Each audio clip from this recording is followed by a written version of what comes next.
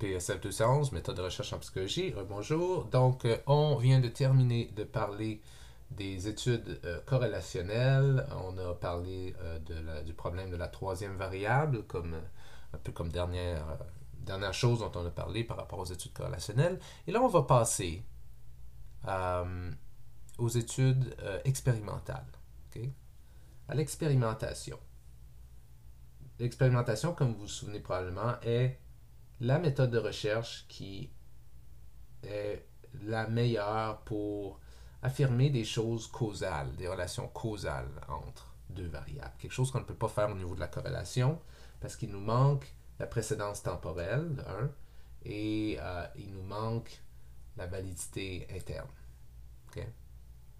Euh, donc, je vais d'abord vous donner des exemples d'expérimentation, de vraies expériences en psychologie. Une première de Mueller et Oppenheimer en 2014. Mueller et Oppenheimer s'intéressaient à quelque chose, à une question qui est intéressante en éducation, qui est les étudiants les étudiantes vont prendre des notes. Quelle est la meilleure façon de prendre des notes? Et une des catégorisations qu'on peut utiliser, c'est est-ce que c'est mieux de prendre des notes par ordi ou à la main? Euh, et donc, euh, Mueller et Oppenheimer voulaient euh, vérifier euh, ça. Donc, ils avaient une étude où ils avaient une tâche où est-ce que les, participants devaient prendre des notes qui portaient sur une présentation vidéo, un TED Talk, si vous connaissez ça. Euh, donc, les participants regardaient le TED Talk, puis vous devaient prendre des notes. Puis, spécifiquement, il y avait deux groupes de participants. Le groupe 1 devait prendre des notes sur du papier avec un stylo. Le groupe 2 devait prendre des notes à l'aide d'un ordinateur, en tapant. La mesure qui, les intéressait, en fait, il y en avait deux types, la variable dépendante, donc, c'était euh, des questions. Euh, ben, c'est pas la variable dépendante. La, variable dépendante, ce serait les réponses à ces questions-là. Mais en tout cas, il prenait deux mesures. Il posait des questions factuelles et conceptuelles sur la présentation. Factuel, c'était par exemple des définitions, des choses qui se sont dites dans la présentation, etc. Conceptuel, c'est plus large. C'est comme ce qu'on a compris, ce qu'on est capable d'inférer à partir de ce qu'on a appris, et ainsi de suite. Hein? Des choses qui n'étaient pas vraiment dans la présentation, mais si tu as compris les faits de la présentation, tu devrais être capable de comprendre tel concept, et ainsi de suite. Et ce qu'ils ont remarqué, si on regarde ici, donc en peu importe que cette couleur-là est, je vais appeler ça rose, ok? En rose et en bleu, donc en rose, vous avez laptop, ceux qui ont pris, le, donc le score des gens qui ont pris euh, des notes par ordinateur. En bleu, vous avez longhand, c'est ceux qui ont pris des notes à la main. Ce que vous voyez, c'est, ah oui, et ici c'est le score, donc ça c'est la variable dépendante, le score aux questions le score aux questions. Vous voyez qu'il est standardisé parce que tu ne peux pas avoir un score négatif. Là. Ça, c'est la moyenne du groupe, comme un score à l'examen. C'est la moyenne du groupe à l'examen. Ça, c'est. Ça, c'est. Euh, euh, euh, point 1 unité en haut, en, haut, point 2 unité en haut de la moyenne, point 3 unité en haut de la moyenne, point 4 unité, point 1 unité en bas de la moyenne, point 2 unité en bas de la moyenne, et ainsi de suite. Donc, ce qu'on voit, c'est qu'au niveau des questions factuelles, des définitions, puis des affaires qu'il y avait dans la vidéo, euh, il y a peut-être une... Je veux dire, visuellement, il y a une différence. Le laptop semble être meilleur que les notes à la main, mais probablement qu'au niveau statistique, cette différence-là n'est pas significative. Et en passant, c'est ce qu'on observait. Statistiquement, elle n'était pas significative. Donc, il n'y avait pas vraiment de différence entre euh, ces deux groupes-là ici au niveau factuel. Mais au niveau conceptuel, où c'est des questions plus difficiles, il fallait comprendre les concepts, il fallait inférer des choses au-delà du vidéo, ce qu'on voit, c'est que les gens qui ont pris des notes à la main avaient un score qui était presque 0.2 unités au-dessus de la moyenne. Oui, ma flèche, ici. Alors que ceux qui avaient pris des notes à l'ordi étaient presque 0.1, 0.5 unités en bas de la moyenne. Donc ici, il y avait une différence et elle était significative. Ce qui suggère cette étude-là en passant pour vous, que prendre des notes à la main est meilleur euh, pour la mémoire, pour la capacité de répondre à des questions plus tard, surtout au niveau des questions conceptuelles, moins au niveau des définitions et des trucs comme ça. Donc ça, c'est une belle, une belle euh, expérimentation de Mueller et Oppenheimer, puis on va y revenir plus tard. Un autre exemple. Euh, ceci complètement différent. Van Cleef, Shimizu et Wansink en 2012. Les autres se sont intéressés aux facteurs qui font en sorte que les gens mangent trop. Bonne question. Deux groupes de participants dans ce, si vous faites partie de cette étude-là. Un groupe auquel on donne un bol large. Je ne peux pas vous dire c'est quoi le diamètre du bol, mais imaginons un bol large. Et un groupe auquel on donner un bol moins large, qu'on appellerait le bol moyen.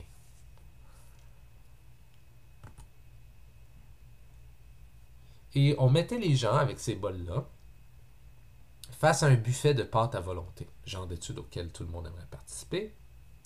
Euh, et euh, on demandait aux gens de se servir autant de pâtes qu'ils le veulent. Comme ils voulaient. Manger autant que vous voulez. Et ce qu'on mesurait, c'était la consommation en grammes et aussi la consommation en calories. Et euh, ce qu'on avait ici, on voit deux graphiques. Le premier, donc c'est toujours la même chose. En rose, c'est les données pour le bol médium. En bleu, c'est les données pour le bol large. Autant ici qu'ici. La différence, c'est qu'ici, c'est le, le, gramme de pâte consommée, alors qu'ici, c'est les calories en pâte consommée. Donc, c'est normal que les données se reflètent l'une l'autre. Parce que plus vous consommez de grammes, plus vous consommez de calories, évidemment. Et ce qu'on voit, c'est une différence qui était significative. Les gens à qui on avait donné un bol médium mangeaient moins de pâte que les gens à qui on donnait un bol large. Et évidemment, la différence était significative. Et évidemment, ici, les gens qui on donnait un bol moyen euh, consommaient moins de calories que les gens qui on avait donné un bol large. Et la question que j'aurais pu poser dans le cadre de, l'autre truc, euh, je n'ai pas posé ici, mais pour Mueller et Oppenheimer, cette étude supporte-t-elle l'affirmation que la prise de notes à la main cause une meilleure performance lors d'examen?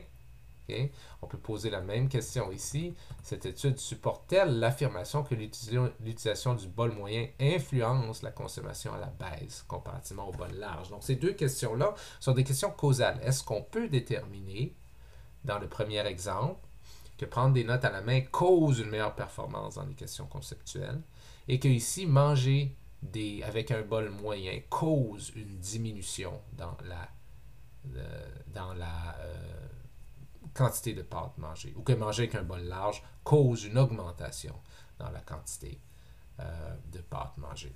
Et, ce que je veux argumenter ici, dans le cadre de ce PowerPoint, c'est que oui, dans ce cas-ci, ces études-là, on peut affirmer une certaine causalité. Pourquoi? Parce que nos trois critères de causalité, covariance, précédence temporelle et validité interne, sont contrôlés, sont, sont, euh, sont respectés ici.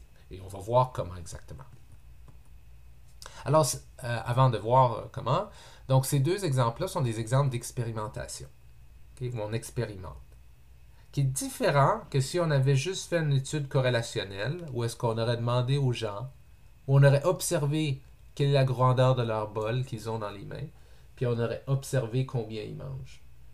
Ça, ça serait une étude corrélationnelle et ça ne serait pas une expérimentation. Parce que ce n'est pas nous qui manipulons qui a quel bol et ainsi de suite. Donc ici, on expérimente. Dans la vie quotidienne, expérimenter, ça signifie souvent essayer quelque chose de nouveau. Ah, j'ai expérimenté avec euh, une nouvelle céréale, euh, je sais pas, euh, avec moins de sucre, puis c'était moins bon, tu sais. Mais dans la, dans la, en science, c'est un type de recherche où il y a manipulation d'une variable indépendante et mesure de l'effet de cette manipulation sur une autre variable dépendante. C'est ça qui fait la différence. C'est ça qui fait la différence d'une étude corrélationnelle. Dans une étude corrélationnelle, il n'y a pas de manipulation techniquement. Donc, dans l'expérimentation, il y en a une. Manipulation de la variable indépendante et mesure de l'effet de cette manipulation sur une autre variable, qui est la dépendante. Okay? C'est pas tout le temps une expérimentation, c'est pas tout le temps fait uniquement non plus dans un laboratoire. Ça peut être fait dans différents contextes. Ça peut être fait dans un cinéma, une salle de classe, en ligne, dans la rue. Du moment qu'il y a contrôle et manipulation de la variable indépendante.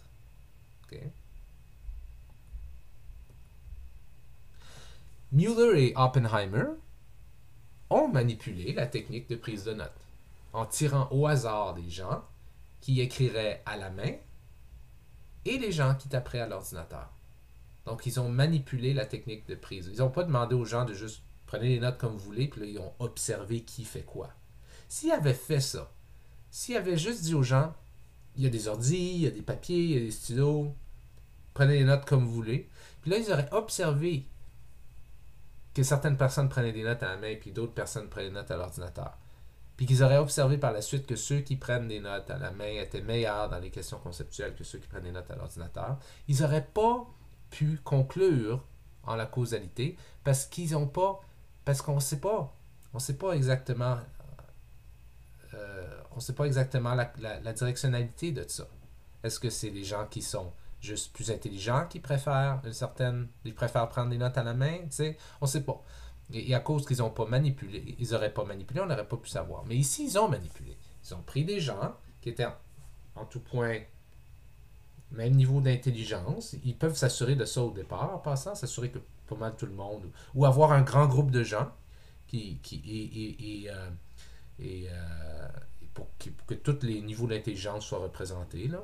Et tu en, prends au hasard, tu prends ces gens-là, tu les mets dans le groupe à la main, puis l'autre, le groupe à l'ordi. Donc, dans cette étude, la technique de prise de notes est une variable, parce qu'elle a plus d'un niveau. Elle a deux niveaux, le niveau manuscrit et le niveau tapuscrit. Je sais que tapuscrit, c'est horrible, je déteste dire ça, mais apparemment, c'est le mot qu'on utilise pour taper à l'ordinateur, alors qu'écrire à la main, c'est manuscrit versus tapuscrit. C'est affreux. Euh, euh, Van Cleef et ses collaborateurs, l'étude avec euh, ont aussi manipulé la variable taille de bol en utilisant une stratégie aléatoire. Ils ont pris des gens et ils ont euh, assigner à certaines personnes aléatoirement des bols moyens, puis à d'autres les bols larges. S'ils avaient juste mis des bols moyens, puis mis des bols larges, puis noté, observé quel bol les gens prennent, puis ensuite combien ils mangent, il aurait pu observer une corrélation entre la quantité de pâtes mangées puis le type de bol utilisé. Mais il n'aurait pas pu inférer quelque chose de causal. Parce qu'ils n'ont pas manipulé. Dans les deux cas, ils ont aussi mesuré une variable dépendante. Dans le premier cas euh, de euh, Mueller et Oppenheimer, ils avaient euh, une variable dépendante qui était les réponses à des questions factuelles et conceptuelles. Puis dans le deuxième cas, les grammes de pâte et le compte de calories consommées pour Van Cleef et ses collaborateurs. Donc, dans une étude expérimentale, la variable manipulée, qu'on dit causale, est nommée indépendante. On l'appelle souvent la VI, variable indépendante. Et puis on la nomme comme ça parce que les chercheurs ont une certaine indépendance quand vient le temps d'assigner des participants aux différents niveaux de cette variable-là. Je parle de niveau. Il faut faire attention de ne pas confondre la variable elle-même avec ses niveaux, qu'on appelle souvent aussi des conditions. Donc, par exemple, dans Van Cleef et al., la variable indépendante est la taille du bol. Elle a deux niveau, deux conditions, médium et large. Dans le cadre de Oppenheimer, la variable indépendante est méthode de prise de notes. Elle a deux niveaux ou deux conditions, euh, manuscrit, tapuscrit. La variable mesurée est la variable dépendante, on l'appelle souvent la VD. C'est la, la, manière dont un participant se comporte au niveau de cette variable dépend du niveau de la VI auquel il fut assigné. Du moins, c'est ce qu'on espère.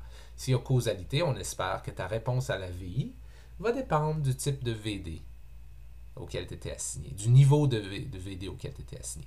Donc, on, on, aimerait voir que le montant de pâte que tu vas consommer va dépendre de si tu étais dans le groupe bol large ou groupe moyen, par exemple.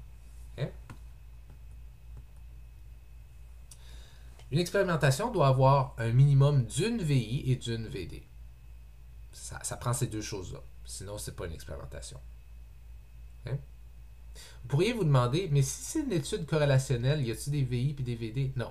Parce qu'on n'a pas, pas besoin de ce langage de variable indépendante, variable dépendante. Donc, on fait, lorsqu'on fait une étude corrélationnelle, parce qu'on ne s'intéresse pas à la directionnalité de qu'est-ce qui cause quoi. On a juste des variables.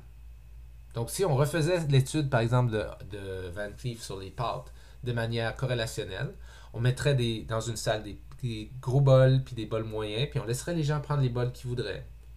Puis on les laisserait manger combien qu'ils veulent. Et tu aurais deux variables, les bols qu'ils ont pris, puis la quantité de pâtes mangées, mais aucune serait vue comme indépendante, puis une autre dépendante. OK? Parce qu'on n'aurait aucune idée de la, directionnalité. Est-ce qu'ils mangent plus parce qu'ils prennent un plus gros bol, ou est-ce qu'ils prennent un plus gros bol parce qu'ils veulent manger plus? donc, ou, bien juste, est-ce que c'est une troisième variable qui expliquerait pourquoi ils prennent un gros bol puis pourquoi ils mangent plus? Ils viennent d'une famille où on mange beaucoup, par exemple. Ou leur éducation au niveau de la santé, par exemple. Leur niveau de connaissance sur la nutrition ferait en sorte qu'ils prennent des plus gros bols et qu'ils mangent plus. Ça pourrait expliquer ça. Donc, euh, euh, si on faisait ça, euh, ça ne serait pas des variables indépendantes ou dépendantes. Ce serait juste des variables. Mais ici, à cause qu'on manipule, qu'on assigne les gens à différentes conditions, on parle de VI et de VD. Il faut qu'il y ait au moins une VI et qu'il y ait au moins une VD. Donc, euh, mais il peut en avoir plus d'une VD, en fait. Et quand on regarde ça, vraiment, même si j'ai parlé d'une variable dépendante dans les deux exemples, vraiment ce qu'on a, c'est deux variables dépendantes. Euh, pour Mueller et Oppenheimer, la première variable dépendante, c'est la performance aux questions factuelles, puis la deuxième, c'est la performance aux questions conceptuelles. Et cette différence-là est importante parce que ce qu'on a vu, c'est que l'effet de la prise de notes à la main était présent pour les questions conceptuelles, pour la deuxième VD, mais pas pour les questions factuelles. Ce qu'on voit ici. Pas d'effet, un effet. Hein? Euh, OK. Dans un graphique, comment est-ce qu'on peut savoir quelle est la variable indépendante et la variable dépendante si on n'a pas lu l'étude puis si on ne sait pas exactement c'est quoi l'affaire? Ben, euh, typiquement, la variable indépendante est distribuée sur l'axe des x, puis la variable dépendance est distribuée sur l'axe des y. C'est pas mal tout le temps ça. Maintenant, Lorsque les chercheurs vont manipuler une variable indépendante pour voir quel effet elle a sur la variable dépendante, ils vont s'assurer qu'ils font uniquement varier une seule chose à la fois, la variable qui est supposément causale. Comme si je fais varier la technique de prise de notes, par exemple. Ça veut dire qu'il y a des gens dans mon groupe, il y a des gens dans mon étude qui vont soit être dans le groupe à la main, puis il y a des gens qui vont être dans le groupe à l'ordi. Mais je veux juste manipuler ces deux choses-là. Je ne voudrais pas qu'il y ait d'autres variables que je sois en train de manipuler sans m'en rendre compte. Qu'on appellerait des variables parasites. Ou dans la technique du taille du bol, par exemple. Dans l'étude du taille du bol. Je veux juste varier la taille du bol. Large, moyen. Je ne veux pas varier d'autres variables, faire varier d'autres euh, choses. Donc, si, par exemple, imaginons que le taille, euh, si par exemple, je sais pas moi, l'étude se faisait sur deux jours. Au jour 1, euh, on fait les tailles, les, bols de, les bols larges. Puis le jour 2, ça va être les gens qui on va donner le bol moyen. Mais imaginons que c'est les mêmes pâtes à travers les deux jours. Fait qu'au deuxième jour, là, pour les gens, pour les gens, euh, le deuxième jour, c'est les gens qui font l'étude qui sont dans le groupe moyen. Un, il y a moins de pâtes, puis ils sont moins bonnes parce qu'ils commencent à être sèches puis, euh, puis froides. Mais c'est sûr qu'ils mangeraient moins de pâtes.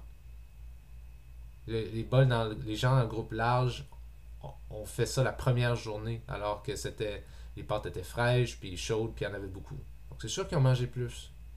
Et donc là, si je faisais ça, je serais en train de d'inclure une autre variable que j'ai pas envie d'inclure qui est comme le temps. Ça, ça serait une variable parasite. Donc, ce que je veux faire, c'est assurer que toutes ces variables parasites-là qui pourraient expliquer les résultats, je veux les contrôler le plus possible. Je veux vraiment que les choses varient une seule chose à la fois. La technique de prise de notes ou la taille du bol. Rien d'autre. Et pour ce faire, je dois contrôler des variables nuisibles, justement, comme le temps, par exemple en tenant plusieurs facteurs constants entre les différents niveaux de la vie. Par exemple, Mueller et Oppenheimer maintiennent plusieurs éléments constants. Les deux groupes visionnent la présentation vidéo dans la même salle. Si le groupe manuscrit l'avait visionné dans une salle différente que le groupe tapuscrit, comment je sais si la différence au niveau des questions conceptuelles est due vraiment à la technique de prise de notes ou est due au changement de salle? Je sais pas. A peut-être que la deuxième salle, peut-être que ceux qui l'ont pris à la main étaient dans une salle qui avait plus d'éclairage, puis qui ont pu mieux voir la vidéo, je sais pas, tu sais, donc c'est je peux, je peux plus dire si c'est la technique de prise de notes parce que j'ai pas contrôlé. Donc, dans leur étude, le lieu est maintenu constant à travers les différents niveaux de la vie. Manuscrit est un niveau 1, tapuscrit est un niveau 2, et constant dans ces deux niveaux-là est le lieu. C'est la même salle. Les deux groupes ont le même expérimentateur. Ils ont la même personne qui explique la recherche, qui présente qu'est-ce qu'on va faire, qu'est-ce que vous allez faire, on va vous demander de prendre des notes. C'est la même personne. Si le groupe à la main avait une personne qui s'exprime mieux que le groupe à l'ordinateur, peut-être que les gens à la main étaient plus attentionnés, euh, à cause que la personne expliquait mieux. Donc, pour contrôler ça, même personne à travers les deux niveaux de la vie. Les deux groupes regardent le même vidéo, répondent aux mêmes questions. Donc, ça ne peut pas être. Les résultats ne peuvent pas être expliqués par l'endroit, ne peuvent pas être expliqués par la personne qui est l'expérimentateur, ne peuvent pas être expliqués par le fait que c'est un vidéo différent ou que ce pas les mêmes questions. Tout ça, ça serait potentiellement des variables parasites, des variables nuisibles qu'on veut contrôler, on veut maintenir stable. Toute variable maintenue constante par exprès, on va l'appeler variable de contrôle, VC. Je sais que c'est drôle pour les. Si vous venez de France, VC c'est les toilettes, mais en fait c'est WC. Mais en tout cas, si, vous ne savez pas de quoi je parle, c'est correct. Il euh, faut toutefois noter que comme elles sont maintenues constantes, ce ne sont plus vraiment des, réellement des variables, ça, ça deviennent des, constantes. Euh, mais en tout cas, ça, reste des variables de contrôle des constantes. Les chercheurs maintiennent les VC au même niveau pour tous les, euh, niveaux de la vie. Van Cleef ont maintenu constant plein de choses. La qualité de la nourriture. C'était toujours le même type de pâte qui était offert. Que vous soyez dans le groupe large ou dans le groupe médium. C'est toujours la même taille d'ustensile.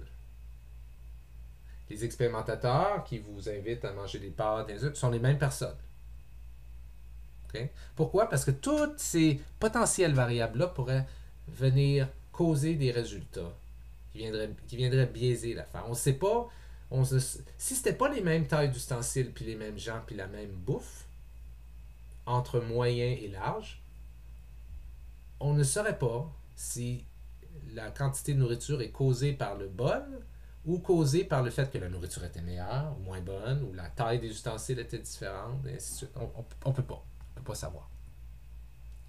Donc, contrôler ces variables-là permet aux chercheurs de séparer un agent causal des autres, ce qui permet d'éliminer des explications alternatives. Ça permet d'éliminer, par exemple, dans le groupe, dans, pour Mueller et Oppenheimer, ça permet d'éliminer des explications alternatives, comme par exemple, première explication alternative, ah, euh, la, différence là, que tu observes entre manuscrit et tapuscrit, elle est vraiment due au fait que euh, les gens dans le groupe euh, tapuscrit, les gens dans le groupe manuscrit avaient une vidéo qui était beaucoup plus simple à comprendre que ceux dans tapuscrit. Donc c'est normal qu'ils ont mieux, répondu aux questions. Non, impossible. Mauvaise explication, on a contrôlé pour ça, c'était une même vidéo. Ah, mais c'est dû au fait qu'il était dans une meilleure salle. Non, impossible. C'était dans la même salle. Donc, ce qu'on essaie de faire, c'est d'expliquer, d'éliminer le plus d'explications alternatives, puis de juste faire varier les variables qu'on veut faire varier. Et ça, c'est notre dernier niveau de validité, la validité interne d'une étude. C'est crucial de faire ça pour augmenter la validité interne d'une étude. Et la validité interne d'une étude, si vous vous souvenez, ça fait longtemps, là, mais la validité interne d'une étude, c'est en quelle mesure est-ce que notre étude essaye d'éliminer des explications alternatives. Essaye de contrôler le plus possible les choses pour éliminer toutes sortes d'explications alternatives. Revenons à ces deux études-là et regardons est-ce qu'ils rencontrent les trois critères de causalité? Mueller et Oppenheimer affirment que leurs expérimentations supportent une affirmation causale. Mueller et Oppenheimer disent que la prise de notes cause, la, prise de notes à la main cause une augmentation dans la performance. Euh, Van Cleef et ses collaborateurs euh, euh, affirment que la taille du bol cause une augmentation dans une augmentation ou une diminution, dépendant si c'est un bol moyen ou grand, dans la quantité de nourriture consommée, ici des pâtes. Est-ce qu'ils ont raison d'affirmer quelque chose de causal? Comment déterminer si ceci est vrai? Vous vous souvenez des trois critères covariation, précédence temporelle et validité interne. L'étude contre-t-elle pour des explications alternatives? Prenons un à la fois. Covariation ou covariance. L'étude de Van Cleef et al. démontre bien une covariance entre la VI et la VD. Il y a un lien, il y a une corrélation entre la VI et la VD. En moyenne, ceux dans la condition bol large ont consommé 425 calories de pâte et ceux dans la condition bol médium en ont consommé 283. Il y a une différence. Cette différence en passant est significative. Donc, elle n'est pas due simplement au hasard. Et euh, puis je dis pas ça simplement parce qu'elle est assez grande à mes yeux, c'est que statistiquement ça a été déterminé, pas par moi mais par eux. Et donc euh, il y a un lien entre la taille du bol et le nombre de pâtes mangées. Il y a un lien, il y a une, covariance, une corrélation. Dans ce cas, la covariance est indiquée par la différence entre les moyennes respectives des deux groupes, moyenne large, euh, bol moyen et bol large. Mueller et Oppenheimer ont aussi noté de la covariance, de la corrélation, de la relation, mais, uniquement pour les questions conceptuelles ici, pas pour les questions factuelles. Donc, pour les questions conceptuelles, la prise de notes à la main est associée à une meilleure performance que la prise de notes à l'ordinateur. Et encore une fois, je vous dis, ça a été calculé par eux, statistiquement significatif. C'est-à-dire que ce n'est pas simplement dû au hasard. Ça se pourrait qu'en prenant 100 personnes, puis en les mettant dans des groupes euh, à la main, à, à l'ordi, euh, qu'on obtienne une différence entre les deux qui soit purement due au hasard, par exemple. Ça se pourrait. Mais ici, ils ont déterminé que cette probabilité-là était tellement faible que euh, c'est probablement dû à la méthode et non pas au hasard. Donc, on a de la covariance. Ça, c'est le premier critère. En passant, le critère de la covariance peut sembler évident pour vous, mais souvenez-vous que, et ça je l'ai dit dans les premiers premiers cours, là, dans la vie de tous les jours, on ignore souvent son importance. Parce que dans notre expérience personnelle, on n'a presque jamais de groupe de comparaison. Vous vous souvenez de ça? Dans notre expérience personnelle, on n'a pas de groupe de comparaison. Vous pourriez penser que la taille des bols de votre mère vous cause de trop manger lorsque vous êtes chez elle. Mais comment pourriez-vous le savoir sans groupe de comparaison? Il faudrait que vous vous compariez à vous-même en même temps avec un bol plus petit. Or, vous ne pouvez pas être vous-même en même temps que vous êtes ici. Il y a juste un de vous. Donc, on ne peut pas avoir de groupe de comparaison. Une expérimentation vous donne le groupe de comparaison dont vous avez besoin pour répondre à la question comparer à quoi? Combien de pâtes mangeaient les, les gens avec des bols larges? Comparé à quoi? Comparé à des gens avec le bol médium. Quel, quel était le score à l'examen aux questions conceptuelles pour quelqu'un qui prenait une note des notes à la main. Comparé à quoi? Comparé aux gens qui le prenaient à des gens, à, un groupe, avec une méthode à l'ordinateur. Donc, ce groupe de comparaison est extrêmement important. Si une étude n'avait pas différents niveaux de la VI, on ne pourrait, on pourrait rien dire au sujet de la covariation et donc au niveau de la causalité. Ce serait impossible de dire quelque chose.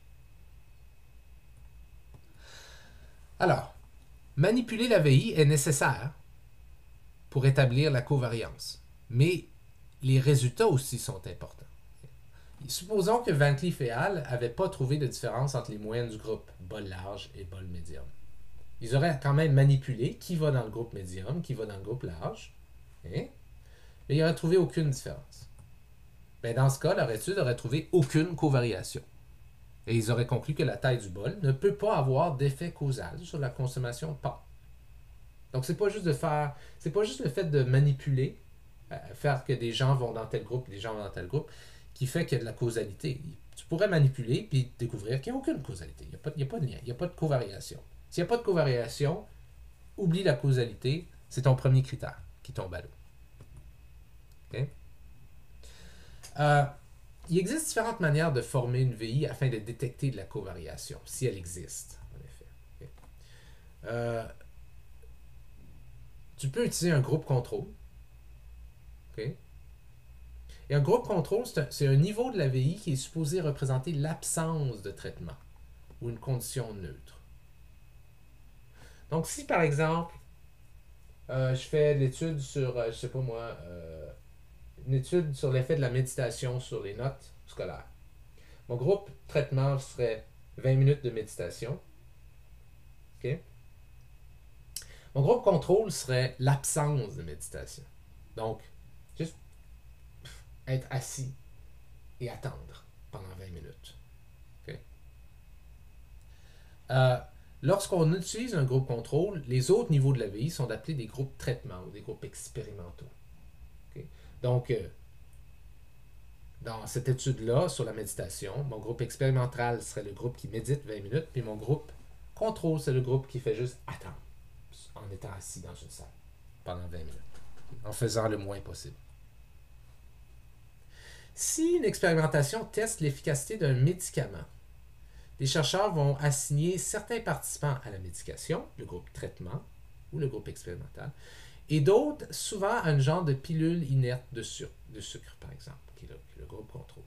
Dans ce contexte, on peut appeler le groupe contrôle le groupe placebo, parce qu'il reçoit quelque chose qui ressemble en tout point à, ce, que les, ce, que les, personnes dans le groupe traitement reçoivent. Une pilule, même couleur, même taille, tout. Mais c'est une pilule inerte qui n'a pas d'effet. Donc, on appelle ça un placebo. Dans mon étude sur, la méditation, euh, être assis euh, en attendant, c'est pas la même chose qui fait ça. C'est pas comme quelque chose qui ressemble à méditer. Donc, c'est pas vraiment un placebo, voyez-vous. C'est juste un groupe contrôle. Toute expérimentation n'a pas ou ne requiert pas nécessairement un groupe contrôle. Parfois, un groupe contrôle parfait, comme l'absence du traitement, est inutile pour la question de recherche. Comme Mueller et Oppenheimer. Ils ont noté deux groupes de comparaison. Deux groupes de comparaison, à la main versus à l'ordinateur. Mais c'est lequel le groupe expérimental puis le groupe contrôle là-dedans? Mais il n'y en a pas. C'est juste, c'est pas comme ça. C'est juste deux groupes, deux, groupes différents à la main, à l'ordinateur. C'est pas comme s'il y en a un qui est le traitement, puis l'autre qui est l'absence du traitement, par exemple. C'est juste deux méthodes différentes. Dans ce cas-ci, on appelle ça des groupes de comparaison. Aucun des deux n'est un groupe contrôle parfait pour l'autre. Un, vrai groupe parfait, contrôle, dans cette étude-là, ça serait par exemple euh, prendre euh, un groupe qui ne prend pas des notes du tout. Parce qu'un groupe contrôle parfait, c'est l'absence du traitement. Donc, imaginons qu'on avait trois groupes, à la main, à l'ordinateur, puis quelqu'un qui ne prend pas du tout de notes. Mais c'est sûr qu'on va voir que quelqu'un qui ne prend pas du tout de notes a moins bon à l'examen que quelqu'un qui en prend. Donc, ça nous dirait quoi? Ça nous dirait rien. Ça nous dirait rien d'intéressant. Ce qui nous intéressait ici, c'était vraiment la différence entre les deux groupes de comparaison, à la main versus à l'ordinateur. Mais vous voyez qu'ici, le concept de le groupe expérimental puis le groupe contrôle, ça n'a pas vraiment rapport ici. Ça ne s'applique pas. C'est deux groupes expérimentaux différents. Un qui est à la main, un qui est à l'ordi. On appelle ça des groupes de comparaison. Van Cleef n'avait pas vraiment de groupe contrôle réel. Les chercheurs ont simplement utilisé deux tailles de bol différentes, large et médium. Encore là, c'était deux groupes de comparaison. Qu'est-ce qui aurait été un groupe contrôle réel? Ben, des gens à qui on ne donne pas de bol. Et là, on aurait observé, wow, que les gens à qui on donne pas de bol, ils mangent moins de pâtes que les gens à qui on donne des bols. Ben, obviously, en quelle, à quelle, à quelle, mesure est-ce que c'est intéressant ça? Donc, on n'a pas besoin d'un groupe contrôle ici. Ce qu'on s'intéresse, c'est la différence entre les groupes de comparaison. Mais si je fais une étude sur l'impact d'une pilule sur la dépression, par exemple, ben là, je veux un vrai groupe contrôle, un groupe placebo spécifiquement ou est-ce que je ne donne pas vraiment le traitement? C'est l'absence du traitement. Mais dans les deux exemples ici, Mueller et Oppenheimer et Van Cleef et je n'ai pas besoin de l'absence de ce que je donne. Je m'intéresse à l'effet de différentes versions de ce que je donne. À la main versus à l'ordi. Groupe euh, bol moyen versus bol large. C'est plus des groupes de comparaison. Mais toute étude expérimentale requiert un ou plusieurs groupes de comparaison. Et donc, pas nécessairement besoin d'un groupe contrôle pur, mais il faut au moins qu'il y ait une comparaison. Pour répondre à la question, comparer à quoi? Des fois, comparer à quoi, c'est comparer à l'absence du traitement, comme dans le cas de mon exemple sur la dépression. Quel est l'effet de cette pilule? Comparé à quoi? Bien, Comparé à pas cette pilule. Des fois, c'est un groupe contrôle, mais des fois, euh, euh, ça va être comparé à quoi? La réponse à ça, ça va être comparé à un autre niveau. Est-ce que les gens qui ont un bol large mangent plus? Comparé à quoi? Bien, Pas comparé à l'absence d'un bol large, mais comparé à un, bol moyen. Donc, toute étude expérimentale doit. On, doit comparer des groupes à quelque chose. Il faut qu'il y ait des groupes de comparaison. Mais c'est pas obligatoirement, ces groupes de comparaison-là ne sont pas obligatoirement d'être des, groupes contrôle dans le sens pur du terme. Parce qu'on voit que pour Mueller, Oppenheimer et Cleef et Al, ça ne s'applique juste pas. Euh, je vais passer à un prochain vidéo parce que sinon ça va prendre trop de temps. Mais tout ça pour dire que euh, on voit que dans nos deux études ici, Van Cleef et Al et aussi Mueller et Oppenheimer, on a, euh, on a la covariation. On a le premier critère de rempli parce qu'il y a une différence entre les scores entre les différents groupes, qui sont dans ce cas-ci deux groupes de comparaison. Et pas vraiment un groupe expérimental puis un groupe contrôle, techniquement, mais deux groupes de comparaison ont une différence entre les scores qui est significative. Euh, pour Oppenheimer, Mueller Oppenheimer, c'est spécifiquement dans le, dans le, dans la, pour la mesure conceptuelle et non pas factuelle, mais il y a quand même une différence. Et, et donc, la covariation est établie dans ces deux études-là. Les deux autres critères, précédence temporelle et validité interne, on va euh, y passer dans le cadre de la prochaine capsule. OK? Ciao!